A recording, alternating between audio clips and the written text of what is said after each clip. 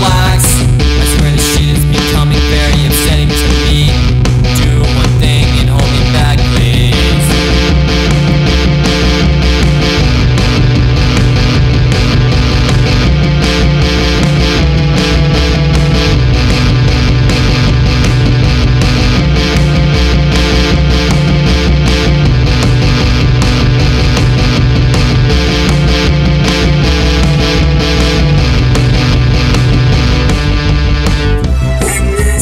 Yes.